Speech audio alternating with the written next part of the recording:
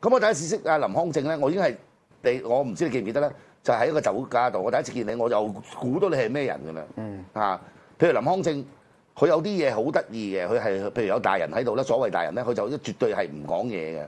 咁呢個係佢自己個修為嘅，即係或者屋企人個家教啦。嗯即係或者屋企人個家教啦。嗯即係盡量唔好同長輩喺度多嗲。咁係好少有嘅誒、呃。後來我明白，因為早兩日我同佢媽咪傾電話，我就明白點解佢會咁樣啦。